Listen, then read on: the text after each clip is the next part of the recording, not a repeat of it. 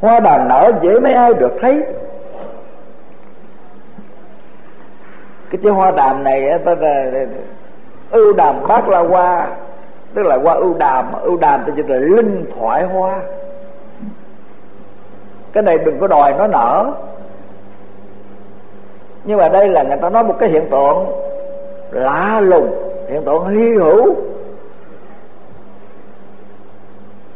Mà người ta nói là qua đàm là, là mấy nghìn năm nó mới nở một lần có nghĩa là mấy nghìn năm mới có một vị thánh nhân xuất hiện trên cõi đời.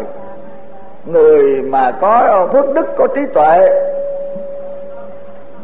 Mà ở đây muốn nói là cái trí tuệ giải thoát giác ngộ bồ đề vô thượng đó, thì lại càng khó hơn cái phước đức trí tuệ của thế trí biện thông. Thế thì nó là, ta ví như cái hoa linh thoại, chỉ có khi nào nó có cái điềm cái điềm lành, thì thì nó làm cho cái cái bầu trời, cái cảnh quan, hay là cái, lúc đó nó có hiện ra một cái màu sắc, một cái hào quang tốt đẹp diệu hiền nào đó mà nó không có ở đâu hết á. Không không không không phải ở trên trời mà cũng không phải trong núi mà không ở trên cây. À, mà nó có một cái ảnh hiện đẹp đẽ lạ lùng như vậy.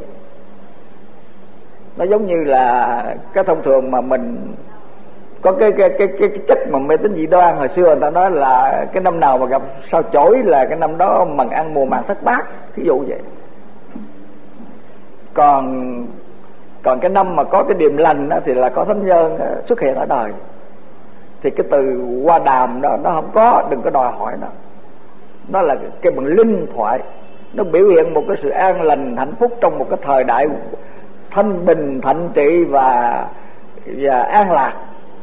Nó không có cái thủy tai, quả tai, phong tai, nó không có tam tai, mà có thánh nhân xuất hiện. Thế thì lúc đó thì gọi là ưu đàm ưu đàm bát la qua tức là cái linh thoại qua nó biểu hiện nó nở một lần. Ở trung quốc thì họ có cái từ gọi, là hãy nước à, cái nước sông hoàng hà mà trong thì là có thánh nhân xuất hiện. Để để lệnh như thế. Mà lúc nào mà nước sông hoàng hà mà mà không trong có nghĩa là bình thường không có thánh nhân xuất hiện. Được như lai thọ ký khó hơn nhiều. Ừ. qua đàm nở dễ mấy ai được thấy. Được như lai thọ ký, khó hơn nhiều. Thấy như lai, cái nhân ác thú nó viễn ly. Cái người mà mà mà gặp được Phật, gặp được ứng thân Phật. Như Phật Thích Ca là đã là là là hữu duyên rồi nhưng mà Như Lai đây là Như Lai pháp thân đó cái người mà thấy tư duy, mà quán chiếu, mà thấy được thấy được chân lý, tức là thấy được Như Lai á, thì cái nhân ác thú viễn ly như lai, tức là như lai pháp thân này, học học niết bàn là phải nói chữ như lai là phải yêu là pháp tánh phật.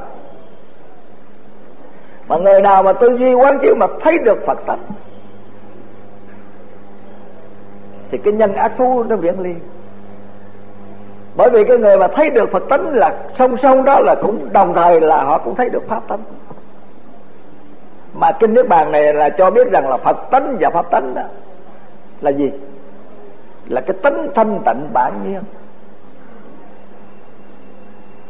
À mà người mà thấy được, thực chứng được cái phật tánh là tánh thanh tịnh bản nhiên như lai tánh là tánh thanh tịnh bản nhiên.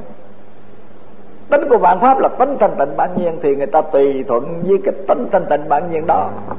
Làm cho mình viếng ly được cái ưu tư phiền não, cái đau khổ của tam đồ địa ngục ngạ quỷ súc sanh. Cho nên tôi nói cái này là cái câu này nó nó rất đơn sơ mà đại chúng để ý khi nào mà chúng ta có một sự bất bình, bất mãn mà đau khổ cho bản thân, cho gia đình là chúng ta trong đó có người sống. Không đúng chân lý. Hoặc là ta không đúng chân lý mà làm cho cái gia đình cái ngày đó bị rầy rà, xào xáo, khổ đau. Hoặc là vợ ta sống không đúng chân lý mà làm cho gia đình khổ đau. Hoặc là con ta sống không đúng chân lý, làm cho cha mẹ khổ đau. Trong cái khổ đau của một cái gia đình nhỏ như vậy, mà có khổ đau là tìm ra là phải có cái sống sai. Sai của ai đó? Mà nó có tương quan trong cái cái giọt máu đào mà hơn ao nước lã mà. Thành ra vì thương vì muốn cho họ tốt muốn cho họ lành muốn cho họ thịnh vượng mà họ không làm được như vậy. Họ sống sai cái chân lý để cho họ thân bại danh liệt và đau khổ thậm chí chết chóc ha thế thì à, là nó sinh ra đau khổ mà. Tức là mình đã có có sống sai rồi nó mới sinh ra đau khổ. Chứ còn mà sống mà đúng thấy được như lai á tức là thấy được cái phật tính là thanh tịnh tâm mình là tự thể đó thanh tịnh mà. Thể tánh là tịnh minh mà. Còn vạn pháp không có pháp nào là sắc tinh ơn vị xuất pháp không có pháp nào là nguyên nhân đau khổ. Mà nếu khi nào mình mình dựa vào sắc thanh ơn vị xuất pháp mà nó tác động nó làm cho mình đau khổ là mình sống sai chân lý rồi. À, cho nên là thấy như lai thì là nó xa được cái cái nhân ác thú cái nhân ngã thuốc được được miễn ly. Cho nên đại chúng để ý là hả miệng mình thấy mà mình đau khổ là mình trực chiếu, mình quán ngược trở lại. Tìm ra nguyên nhân nào mình đang đau khổ đây? Mà tìm ra là nhất định là mình phải sẽ thấy cái sai của nó. Mà chính cái sai đó là nguyên nhân của đau khổ. Ví dụ như một cơn giận dữ, một cơn nóng nảy thay vì có một lời nói đó mà mình nói nó nhẹ nhàng chút đó, thì là cái người kia người ta người ta vui vẻ mà người ta sửa cái lỗi, ha. Mà mình nóng rồi mình nói cái lời mà mà có tính gắt gỏng mình rầy ra để cho hy vọng rằng người ta sửa lỗi đó mà. Thì có khi người ta cũng sửa, nhưng mà người ta đau. Mà ta đau rồi chính mình là người đau trước.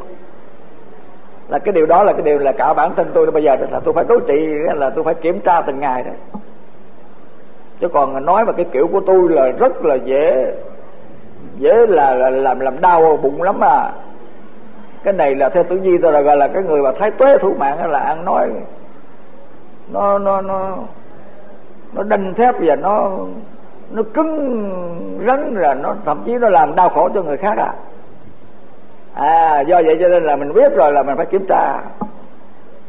Cũng một việc nói mà mình nói người ta người ta sửa đổi mà người ta không nhận mà mình cũng nhẹ, mà người ta cũng nhẹ. Nhưng mà không khéo. Mình gắt lên một cái. Thế thì là mình đau khổ trước rồi, cái người đó đau khổ sau.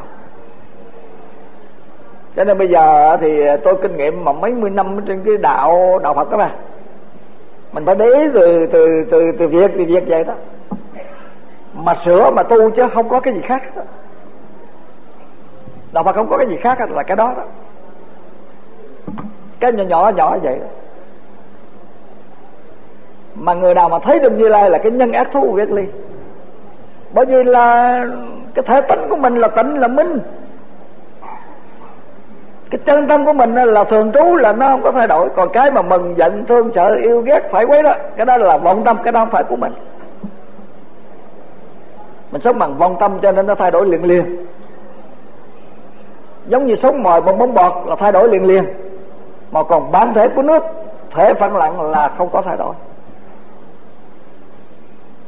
thành ra cái từ câu, từ từ câu, từ ý mình nghiệm ra nó hay lắm.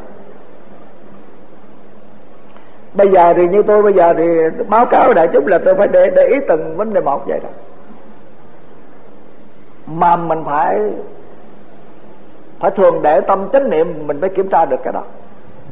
Còn mình không có chánh niệm, mình lơi chánh niệm mà lơi cảnh giác á, là nó sẽ đến mình không hay đâu. Thấy như lai cái nhân ác thú nó viễn ly. Còn vui sướng được như lai à, trước như lai xin kính lễ.